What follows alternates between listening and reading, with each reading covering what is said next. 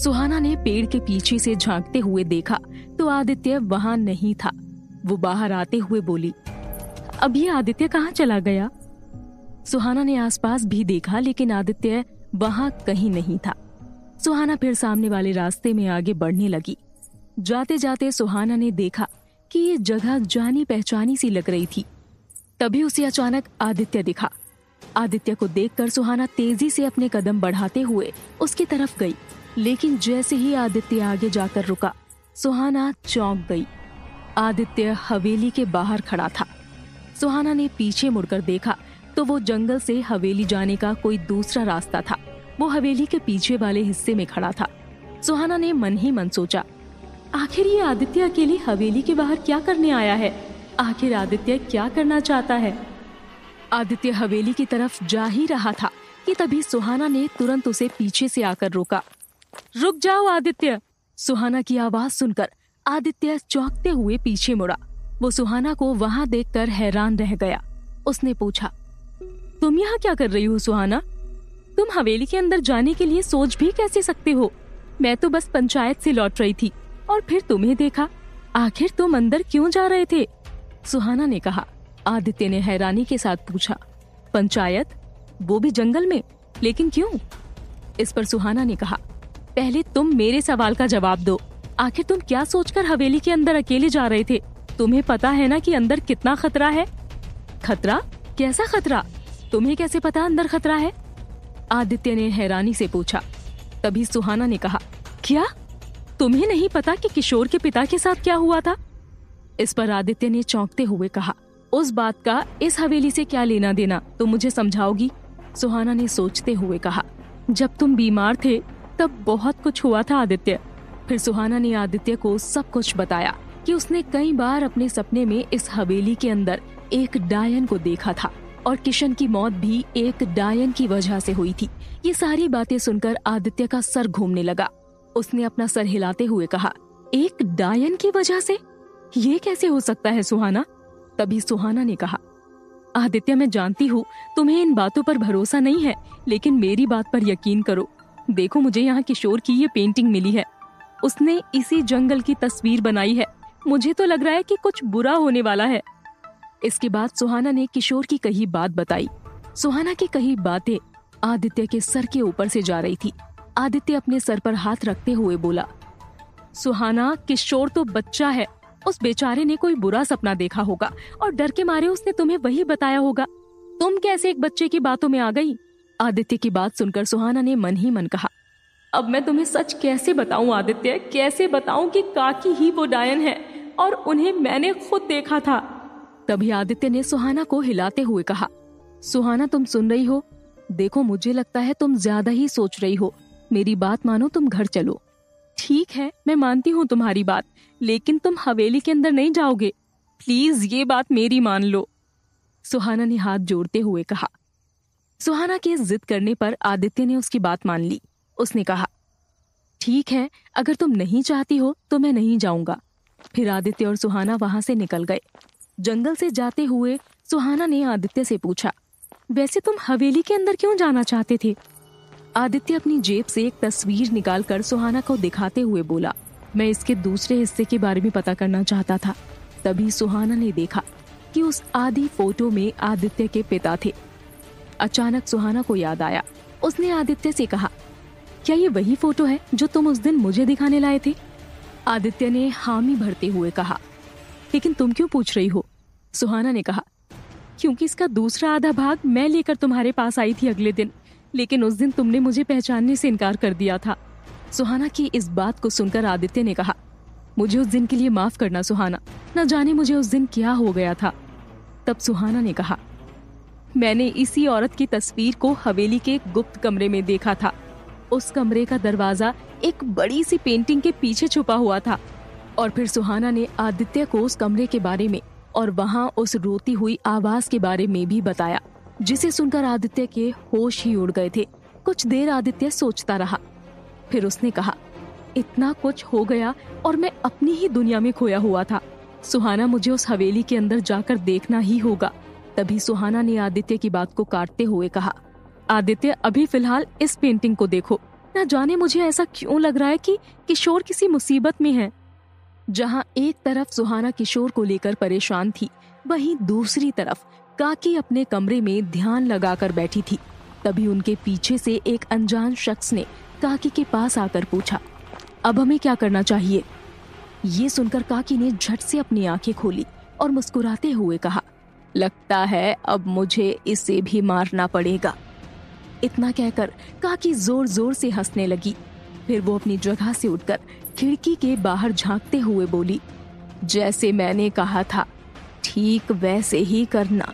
एक तरफ़ कमरे में काकी के मन में कुछ चल रहा था तो वहीं दूसरी तरफ़ सुहाना जंगल में आदित्य से किशोर के बारे में बात कर रही थी। इससे पहले आदित्य कुछ कहता उसे जंगल में किसी के चीखने की आवाज़ सुनाई दी। आदित्य और सुहाना दोनों ही उस आवाज़ को सुनकर चौंक गए और दोनों एक दूसरे को घबराते हुए देखने लगे। सुहाना ने हकलाते हुए कहा, आदित्य, ये तो किशोर के चीखने की आवाज़ थी। आदित्य को सुहाना की बातों पर यकीन ही नहीं हुआ, लेकिन चीखने की आवाज़ तो उसे भी सुनाई दी थी। आदित्य ने पूछा, ये आवाज़ सच में किशोर की है या किसी और की? तभी सुहाना ने कहा चाहे जिसकी भी हो, आदित्य, हमें चलकर देखना चाहिए। अगर सच में कोई मुसीबत में हुआ तो? इसके साथ ही दोनों तुरंत वहाँ से उस आवाज़ की तरफ़ दौड़ कर गए। सुहाना और आदित्य आवाज़ का पीछा करने लगे। भागते भागते वो जंगल के अंदर पहुँच गए, लेकिन उन्हें कोई भी नज़र नहीं आया। सुहाना ने घबराते हुए कहा, अरे, ये आवाज़ कहाँ से आ रही है? तभी उसी वक्त उनके आसपास का माहौल बदलने लगा, जिसे देखकर तुरंत सुहाना ने कहा वो यही कहीं आसपास ही है, आदित्य। आदित्य ने चौंकते हुए कहा, ये तुम इतने यकीन के साथ कैसे बोल सकती हो? ये मौसम इस तरह अचानक बदल गया, इसलिए। सुहाना ने कहा, और इतना कहकर अचानक सुहाना बोलते बोलते रुक गई। उसने मन ही मन सोचा, मैं अभी आदित्य को कुछ नहीं बता सकती, क्योंकि बताने का कोई फ़ायदा नहीं है, ये विश्वास ही नहीं करेगा। तभी अचानक से एक बार फिर चीखने की आवाज़ आई। इस बार आवाज़ और पास से सुनाई दे रही थी। सुहाना तुरंत उस आवाज़ की दिशा में भागती हुई गई। सुहाना के पीछे पीछे आदित्य भी भागता हुआ जा रहा था। एक तरफ़ सुहाना और आदित्य जंगल में आवाज़ के पीछे भाग रहे थे तो वहीं दूसरी तरफ़ कुसुम अपने घर में हमेशा की तरह अपनी किताब में कुछ पढ़ रही थी। वो पढ़ते पढ़ते बोली, इनको मुझे किसी दिन ट्राई करके देखना होगा। और इतना कहकर उसने अपनी नज़र घड़ी की तरफ़ घुमाई और उसने कहा ये आदित्य है कहाँ? कितनी देर से बाहर है? शाम होने वाली है। हे भगवान, कितना अच्छा था वो जब उस पर टोटका किया हुआ था। और अब तो इसी बीच अचानक से हॉल में रखा फ़ोन बजने लगा। फ़ोन की आवाज़ सुनकर कुसुम चिड़ते हुए कमरे से बाहर निकली और फ़ोन उठाते हुए कहा, हेलो कौन? तभी कॉल के दूसरी तरफ़ से किसी ने कुछ कहा। उसकी आवाज़ सुनकर कुसुम के चेहरे पर मुस्कान छा गई। उसने झट से कहा, अरे, बिल्कुल! तुम आज क्या अभी आ जाओ? कब से मैं तुम्हारा इंतज़ार कर रही हूँ? आओ, जल्दी आओ। इतना कहकर कुसुम ने फ़ोन रख दिया। उस कॉल के बाद कुसुम के चेहरे पर एक अलग ही खुशी छाई हुई थी। वो इधर से उधर नाचती हुई गुनगुनाने लगी। उसने मुस्कुराते हुए कहा, बस, अब वो आ जाए तो मेरी सारी परेशानियाँ दूर हो जाएँगी। उसके बाद मैं अपने बाकी कामों में ध्यान दे सकती हूँ। जहाँ एक तरफ़ कुसुम एक कॉल के बाद इतनी खुश थी वहीं दूसरी तरफ़ जंगल में सुहाना और आदित्य बौखलाए हुए से थे। सुहाना आवाज़ का पीछा करते हुए एक बड़े से पेड़ के नीचे जाकर खड़ी हुई। आदित्य भी हाँफते हुए उसके पीछे आया। उसने कहा, क्या हुआ? मैं थक गया हूँ सुहाना। कहाँ है किशोर? तभी सुहाना ने आदित्य को चुप करवाते हुए सामने देखा और सामने देखकर सुहाना के होश ही उड़ गए। वो वहीं खड़े थरथराती हुई कांपने लगी। सुहाना ने हकलाते हुए कहा सर, सामने देखो आदित्य। आदित्य ने अपने माथे के पसीने को पोंछते हुए आगे की ओर देखा। सामने एक औरत हवा में बिना किसी सहारे के लटक रही थी। उसकी लंबी काली चोटी हवा में नागिन की तरह लहरा रही थी। आदित्य उस औरत को देखकर सक पका गया। वो कांपते हुए उस पेड़ के पीछे छुप गया। सुहाना ने आदित्य को संभालते हुए कहा, तुम्हें मेरी बातों पर यकीन नहीं हो रहा था ना? लो अब ये देखो अपनी आँखों से। फिर आदित्य और सुहाना उस पेड़ के पीछे से झांकते हुए देखने लगे। उस औरत के पैर हवा में उल्टे मुड़े हुए थे, जिसे देखकर आदित्य की रूह काँप उठी। उसने गौर से देखते हुए कहा, ये तो डायन है। तभी उस डायन की सुर्ख लाल आँखें चमकने लगी। उसने नीचे देखते हुए कहा, भले तुम छोटे हो, लेकिन चाहे छोटा हो या बड़ा जो कोई मेरे रास्ते में आएगा। उसकी यही हालत होगी। उस दिन जो तेरे बाप के साथ हुआ था वही अब तेरे साथ भी होगा। उस डायन की खौफनाक आवाज़ पूरे जंगल में गूंजने लगी। तभी सुहाना की नज़र नीचे ज़मीन पर पड़ी। नीचे किशोर कांपते हुए गिरा पड़ा था। किशोर को देखकर सुहाना वहाँ से बाहर निकलने ही वाली थी कि आदित्य ने उसे रोक लिया। आदित्य ने गुस्से में कहा, तुम्हारा दिमाग खराब है, तुम उस डायन के पास जा रही थी। सुहाना ने नीचे इशारा करते हुए कहा, वो देखो वहाँ किशोर है, हमें उसकी मदद करनी चाहिए। आदित्य ने कहा, लेकिन सुहाना, हम एक डायन का मुकाबला नहीं कर सकते हैं। वो डायन है और हम आम इंसान, हम बस इस वक्त खुद को बचा सके, वही बहुत बड़ी बात है। आदित्य की बात सुनकर सुहाना भी कहीं ना कहीं आदित्य से सहमत थी। लेकिन वो किशोर को इस हालत में नहीं देख सकती थी। इन पिछले कुछ दिनों में वो किशोर से बहुत क्लोज हो चुकी थी। उसे आज भी किशोर को देखकर अपनी बच्ची की याद आती थी, पर सुहाना भी मजबूर थी। अगर वो किशोर को बचाने के चक्कर में आदित्य की जान को खतरे में डालती या खुद फंस जाती तो वो अपनी बच्ची को कभी नहीं बचा पाएगी। सुहाना खुद को संभालते हुए किशोर को देखे जा रही थी। वो बहुत ही डरा और सहमा सा नीचे पड़ा हुआ था। तभी पलक झपकते ही उस डायन ने किशोर को अपनी चोटी से हवा में उठा लिया, जिसे देखकर आदित्य के हाथ पैर ठंडे पड़ गए। उसकी आँखों के सामने जो कुछ भी हो रहा था, वो उसके लिए किसी बुरे सपने से कम नहीं था। तभी सुहाना ने कहा, हे भगवान, किशोर! और देखते ही देखते उस डायन के आसपास एक बवंडर बनने लगा। जिसे देखकर किशोर भी डर के मारे चिल्लाने लगा। कोई तो बचाओ, कोई है। तभी किशोर की नज़र पेड़ के पीछे खड़ी सुहाना पर पड़ी। सुहाना को किशोर की आँखों में खौफ के अलावा एक उम्मीद भी नज़र आई। मानो जैसे किशोर सुहाना से उम्मीद कर रहा हो कि वो आकर उसे बचाए, लेकिन तब तक बहुत देर हो चुकी थी। बुडायन किशोर के साथ उस बवंडर के बीच कहीं गायब हो गई। जिसे देखकर आदित्य ने तुरंत सुहाना से पूछा, अरे, ये दोनों कहाँ गायब हो गए? सूरज अब पूरी तरह से ढल चुका था और आसपास अंधेरा छाने लगा था। उधर दूसरी तरफ़, कुसुम के घर पर कोई ज़ोर ज़ोर से दरवाज़ा पीट रहा था, जिसे सुनकर कुसुम घबराती हुई अपने कमरे से बाहर निकली। उसने दरवाजे के पास आकर कहा, कौन है?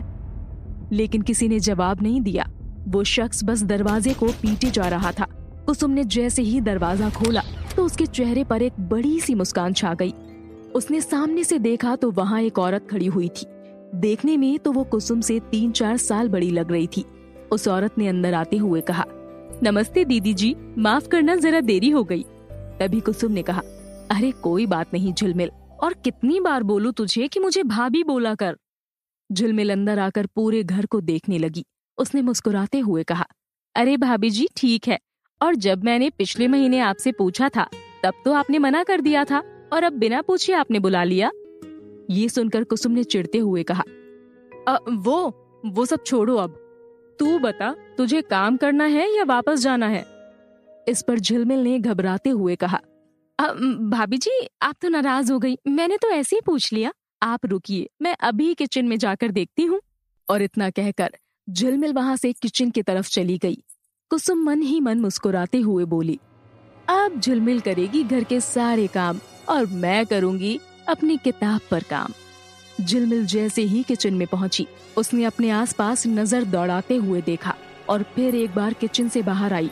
उसने देखा हॉल खाली था। कुसुम अपने कमरे में चली गई थी। तभी अचानक झिलमिल ने अपनी साड़ी के पल्लू से एक छोटी सी पोटली निकालते हुए कहा, बस ये काम मैं सबसे पहले करती हूँ। तब जाकर मैं अपने आगे के कामों को अंजाम दे सकती हूँ। इतना कहकर उसने उस पोटली को खोला और उसके अंदर जो पाउडर था, उसे गैस के पास रखी दाल में मिलाने लगी। झिलमिल पाउडर को मिलाते हुए किचन के बाहर देखती रही और उसके बाद उसने उस पोटली को अपनी साड़ी के पल्लू में फिर से बाँध लिया। आखिर क्या मिला रही थी झिलमिल दाल में और क्या थे उसके इरादे? आखिर किशोर को डायन कहाँ ले गई? और क्या करेंगे सुहाना और आदित्य? जानने के लिए सुनते रहिए दियोना सिर्फ़ पॉकेट एफएम ऐप पर।